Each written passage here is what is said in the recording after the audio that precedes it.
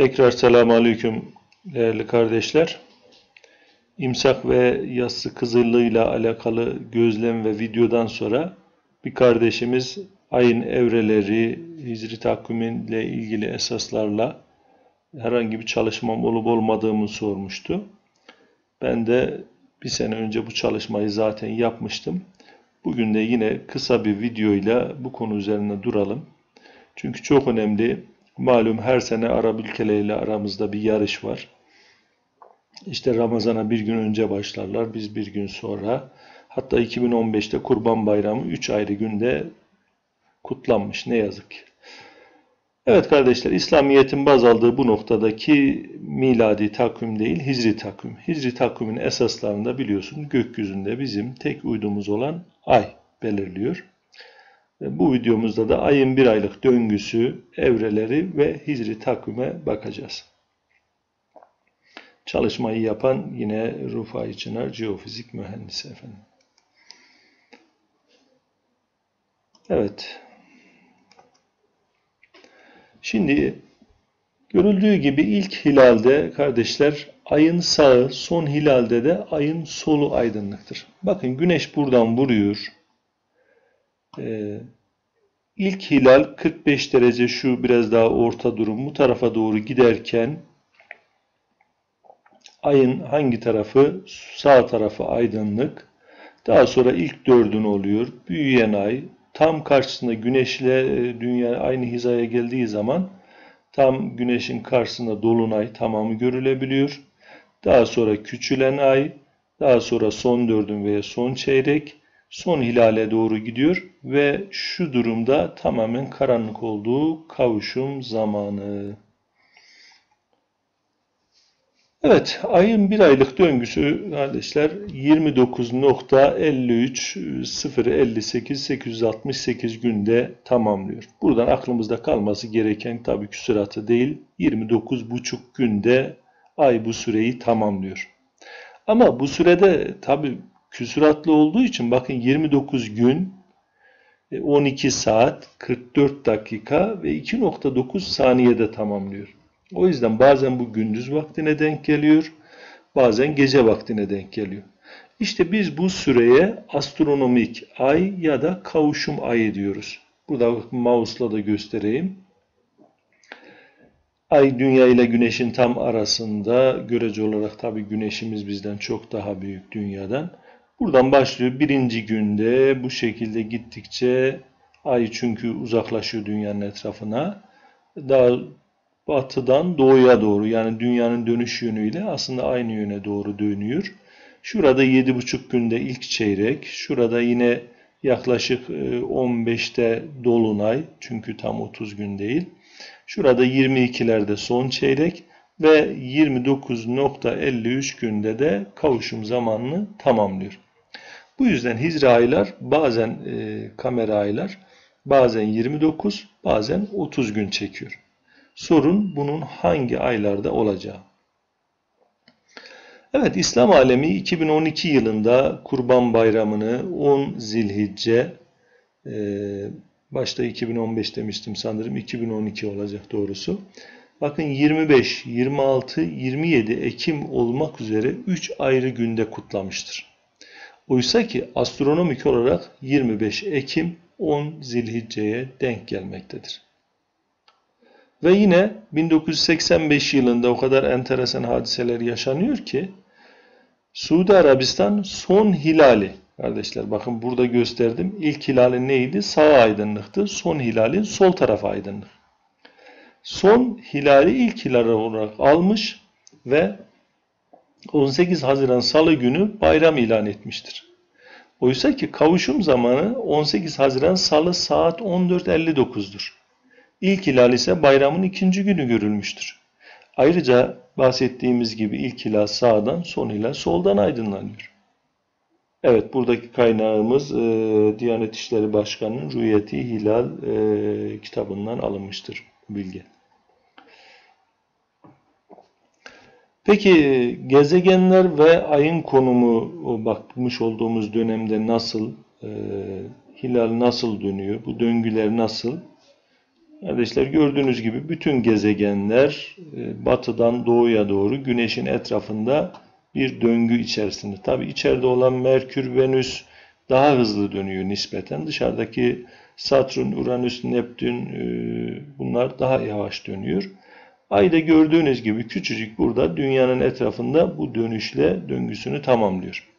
Zaten Kur'an-ı Kerim'de Enbiya suresi 33. ayette de geceyi, gündüzü, güneşi ve ayı yaratan O'dur. Her biri bir yörüngede yüzüp gidiyor buyuruyor Rabbimiz. Peki bu karışıklık neden oluyor? Hilal ve Ramazan'la ilgili fıkhi hükümler nelerdir? Şimdi onlara bakalım. Kur'an-ı Kerim'de o sabahı yarıp çıkarandır. Geceyi bir sükun, dinlenme, özellikle şu kısmı bizim için önemli. Güneş ve ayı bir hesab ile kıldı. Yani bazıları var ya hala gözleyeceğim diye tutturan insanlar. Bakın Rabbimiz bize bu ayette ne buyuruyor? Rahman 55'te geceyi e, bir sükun dinlenme, güneş ve ayı bir hesab ile kıldı. Ve devamında güneş ve ay bir hesaba göre hareket etmektedir buyuruyor. Peygamber Efendimiz hilali görünce oruca başlayın, tekrar hilali görünce orucu bırakın ve bu usule devam edin. Eğer hava bulutlu olur da hilali göremezseniz 30 güne tamamlayın buyurmaktadır. Kardeşler tabi burada Efendimiz zamanını düşünün veya sahabe veya astronomin henüz gelişmediği zamanı düşünün. Ne yapacaksınız? Gözlemleyeceksiniz. Ama günümüzde teknoloji çok ilerledi. Birazdan bahsedeceğim. Biz ayın yüzey aydınlığının parlaklığını ta hesap edebiliyoruz. Ve bunu onda bir hassasiyetiyle yani bir çok az yüzdenin onda bir hassasiyetiyle buluyoruz. Gözle görmeye esas alan bazı alimler Peygamber Efendimizin kamera aylarının tespiti hususunda o zaman için doğru olan Efendimiz buyurmuş ki biz ümmi bir milletiz. Yazmayı ve hesabı bilmeyiz. Hadisini savunmaktadırlar. Ebu Davud'dan rivayet edilen hadis-i şerif. Oysa ki bu hadis hesap kitap öğrenmeyin veya ölçüyü baz almayın anlamına gelmez. Değil mi? Peki bu konuda İslam aleminde iki tane görüş vardır. E, gözlem nasıl olacak? Birincisi ihtilafı metali. Hazreti Ayşe'den gelen zayıf bir rivayete dayandırılan ve genellikle Şafilerin esas aldığı ihtilafı metali kaidesinde aralarında 24 fersah 134 kilometre de bu insanın işte e, bir günde alacağı yol e, hayvanla özellikle atla gidebileceği kat edebileceği mesafe baz alınmıştır. Bu mesafede bulunan beldelerde hilal farklı gecelerde görülmüşse yeni ayda farklı günlerde başlar. Bu görüştekilerin delili artık sizden kim Ramazan ayının hilalini görürse o gün oruç tutsun ayetidir. Bakara 185. Diğer görüş ise ittifakı metali yeryüzünün herhangi bir bölgesinde hilalin görülmesi durumunda diğer beldelerde de buna istinaden kamera ayın başladığına hükmedilir. İttifak-ı metali kuralının uygulanması halinde tüm Müslümanların Arafat'ta vakfe durması aynı güne rastlayıp ki önemli Rabbimiz burada sadece bir gün belirtmiş Müslümanlar açısından. Yine Mekke'de de aynı günde bayram yapılabilecektir. Bu da tüm Müslümanların Hicri takvim birliğini esas almaktadır. Diyanet Teşkilatı aslında günümüzde ittifakı metaliyi baz alıyor. 2016 yılında benim de ilk gözlem yapıp gittiğim zaman kendilerine sunumda İstanbul'a yapılan toplantıda Ramazan'ın başlangıcı için İslam aleminde birlik sağlanmıştı. Ama ne yazık ki her zaman e, Arap ülkelerinde özellikle Suudi Arabistan'dan bir yarıştan dolayı e, Ramazan bayramını Suudi Arabistan tarafından bozulmuştur. Yani illa ya bizden gene de bir gün önce hareket ediyorlar ki İslam ülkelerini peşimizden sürükleyelim diye. Evet hilalin peki çıplak gözle görülebilme şartı nedir kardeşler? Özellikle bu konuda e, Fatih Gökmen, Kandili Rasathanesi'nin kurucusu ve İslam aleminde ciddi çalışmalar yapan bir alimimiz. Fatih Gökmen Şu 5 kuralı belirliyor. Gerçekten çok önemli. Benim de riayet ettiğim kurallar. Birincisi hilalin çıplak gözle görülebilmesi için ayın batışı güneşin batışından sonraya kalmalıdır.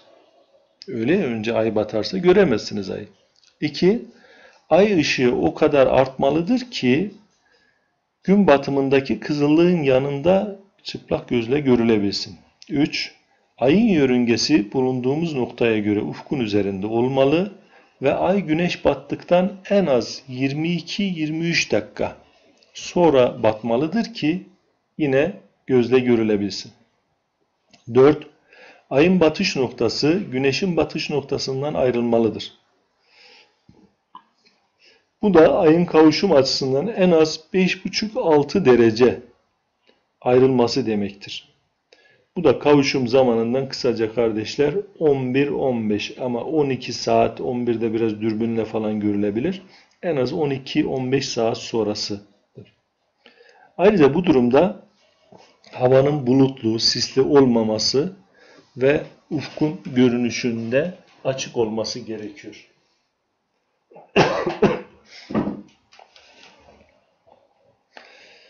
Yine çok enteresan bir bilgidir. Bakın Arabistan'ın yaptığı sadece iki kişiye dayanan gözlemin ne kadar hatalı olduğunu gösteriyor kardeşler. Ramazan hilalini gördüğünü söyleyip yanılanların oranı %63.4.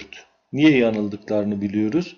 Çünkü bu şahıslar hilalin ufkun altında olduğu zaman gördüklerini söylemektedir. Yani astronomik olarak hilal ufkun altına düşmüş, görmeniz mümkün değil ama bu insanlar bunu söylüyor. Yine bakın benim de ilk hilali çektiğim 2017 Recep 3 aylarda 3 ayların başlangıcı ilk hilal görünümü. Ayın parlaklığı %2,5'muş.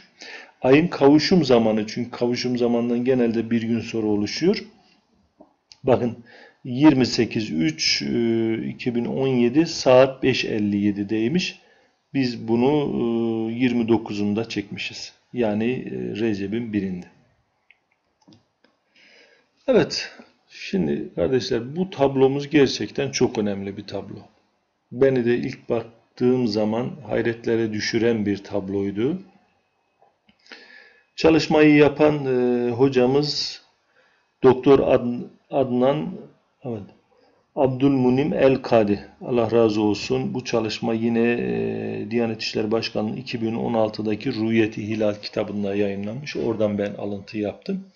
Kardeşler 1961 yılıyla 2004 yılları arasında Suudi Arabistan'da Ramazan ayı ve astronomik ay başlangıçlarını karşılaştırıyor.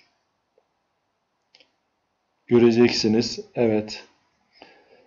Bu çalışmada toplam 39 kez yanılmışlar. Sadece 6 kez isabet edebilmiş. Tabloyu şöyle hızlıca bir bakalım. Şu çalışmaların tamamını dökmedim. Ee, yani 1961 ile 1970 arasındaki kardeşler e, 9 yıllık çalışmada hiçbirini tutturamamışlar. İsabet oranı hayır. Gelelim evet 1971'de yine hayır. Bazı hayır ikiler göreceksiniz. Yani iki gün yanılmış. Bakın Ramazan başlangıcı burada 1973'te e, Perşembe günü evet kamera ayı başlangıcı 29'unda başlıyor. Onlar 27'sinde başlamış. Görüyor musunuz? Yine hayır 2'ye bakalım. 1975'te evet 9. ayın 8'inde kamera ayı başlıyor. Onlar 6'sında Ramazan'ı başlatmış. Görüyor musunuz? 1977'de kardeşler yine 8. ayın 17'sinde kameraya başlıyor. Ama 1977 8. ayın 15'inde. Evet geliyoruz. Peki tutturdukları bir şey var mı? Sadece 61'den 1984'e gelinceye kadar gördüğünüz gibi bir gün Cuma günü isabet etmişler. Dönelim. Yine 88'de hayır, evet 92'de 2 gün, bakın 6'sında başlaması gerekirken 4'ünde başlatmışlar. Ee, yine 97'de burada bir gün isabet etmişler. Evet 99'da, 2000'de, 2002'de, 2003'te. Evet burada toplam 5 tane, bir tane de burada 6 tane evetimiz var. Yani kamerayı başlangıçla isabet etmişler. Onun dışında kardeşler 39 kez yanılmışlar. İşte karşımızda böyle bir e, devlet var. İslam ülkesi olarak söylüyor ama bir insan astronomide bu kadar mı geri olur? Yani çalışma çok önemli. 61'den 2004'e kadar yapılan çalışmada siz 39 kez yanılıyorsunuz. Sadece 6 kez isabet ediyorsunuz. İşte bu da çıplak gözle bakmanın hatasını gösteriyor. Peki Türkiye'de durum ne arkadaşlar? Türkiye'de ben yüzey aydınlığıyla bir çalışma yaptım. Yani bugün ayın yüzey parlaklığının yüzde kaç olarak, yüzde bir mi iki mi ne kadar olduğunu biz hesaplayabiliyoruz ki çünkü e, sayılabilir, ölçülebilir bir şey olması lazım görmekten kasıt bunun. O yüzden 2014'ten kardeşler başladım. 2022'ye kadar Diyanet'in sayfasında olan verilerden hareket ederek evet astronomik olarak %1'e tekabül eden baktım ki e, ayın görünürlüğü %1 olduğu zaman hicri ayın 1'i olmuş oluyor. Burada bakıyoruz genelde e, Diyanet'teki veriler doğru.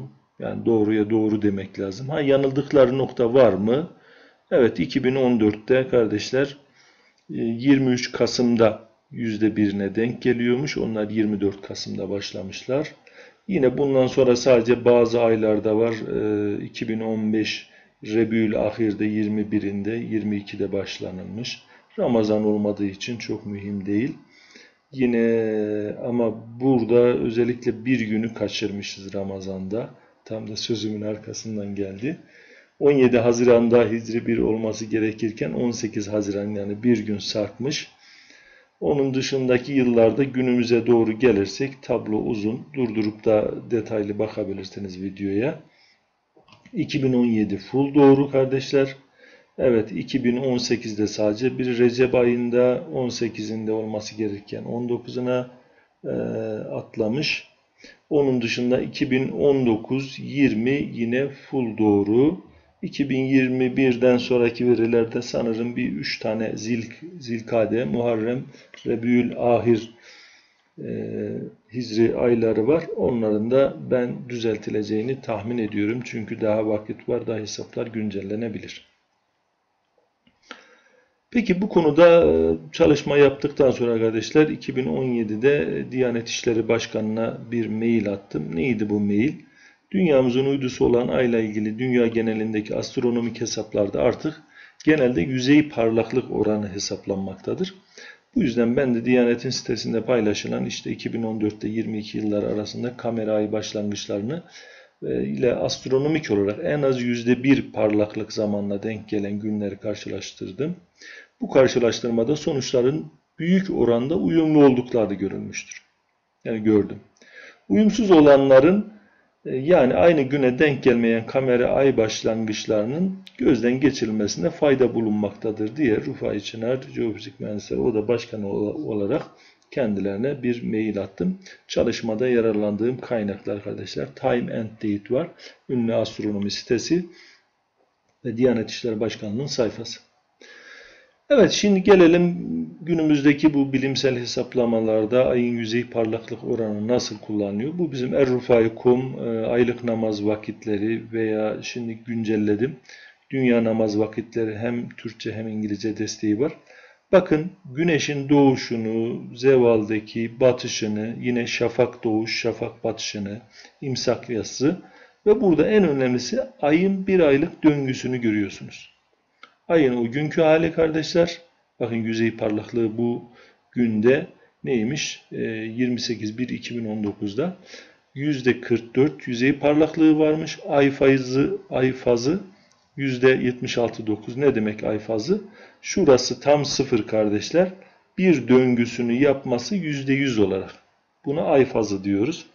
Ayın yaşı hani e, ilk slaytlarda belirtmiştim. 29.53 gündü. Bugün de işte 22.71. Tabii küsuratlı olmayacağı için bu e, yuvarlatılıyor kardeşler. Ayın bulunduğu konumu.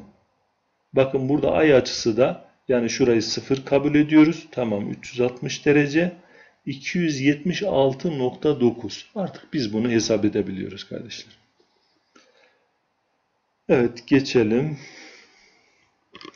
Bunu bir test etmek lazımdı. Programımızdaki ne derece doğru mu değil mi? Bakın kardeşler yine 21 Ocak 2019'da Dolunay Türkiye saatiyle 8.16'da yani e, Dolunay ne? Güneşin tam karşısında. Bakın zaten ay parlaklığı %100, ay fazı %50'ymiş. Yani yarısını kat etmiş. Gerçekleşmiş olup Errufay.com sayfamızdaki grafikte ay fazı %50, ay parlaklığı %100. Peki hocam nereden bilelim şeyini? Bu telefonda çekmiş olduğum bir resim. Bakın telefonun saati de 8.16'yı gösteriyor. Yine program saatinde zaten buradan alıyor 8.16 ve ünlü Time and Day sitesinden de bakabilirsiniz kardeşler. 8.16 bakın dakikası dakikasına biz ayın nerede bulunduğunu yani ilk ay yeni ay mı ilk çeyrek mi dolunay mı aşağıda son çeyrek mi bunu görebiliyoruz artık. Evet, ayla ilgili biraz da astronomik bilgiler e, vermekte fayda var. Ayın dünyamıza ortalama uzaklığı 384.400 kilometre. Bu tabi bazen yaklaşıyor, uzaklaşıyor. Çünkü bütün gezegenlerin yörüngeleri elipstir kardeşler. Ve 5 derecelik yani güneşle olan e, ekliptik düzlemine 5 derecelik bir eğimle dönüyor kardeşler. Eğer böyle olmasaydı düşünün o zaman her yeni ayda güneş tutulması olacaktı ve her dolunayda dolunayda bu karşıda oluşuyor. O zaman da ay tutulması olacaktı. Evet ay insanoğlunun dünyaya geldiği zaman 3.6 milyon yıldan bu yana saatin, takvimlerin olmadığı dönemde insanoğluna zaman konusunda rehberlik etmiş, geceleri gökyüzünü aydınlatmış tek uydumuzdur. Slaytımız bitti kardeşler. Ama bu konuda şunu söyleyebilirim. Tereddütünüz olmasın. Bizdeki programdan da bakabilirsiniz. Ee, bu konuda ülkemizdeki Diyanet'in her ne kadar imsak yassı vakitlerini eleştirsek de ki burada haklılık payımız var. Ama hicri takvimleri belirleme konusunda %99 bir e, doğruluk oranına sahip. Evet, doğruluk oranı mevcuttur. Yine bizlere errufay.com sayfasından ulaşabilirsiniz. Dediğim gibi rastgele yorumlar istemiyorum. Konuyla ilgili güzel bilgisi olan insanlar lütfen e, görüşlerini, yorumlarını yazsınlar. Yoksa bunlar ciddi çalışmalar kardeşler. Ayrıca e, dediğim gibi Twitter'dan bize ve yine Instagram'dan Errufay olarak da bizlere ulaşabilirsiniz. Allah'a emanet olun. Rabbim tuttuğumuz oruçları ve yaptığımız ibadetleri kabul buyursun. Hayırlı günler, hayırlı Ramazanlar.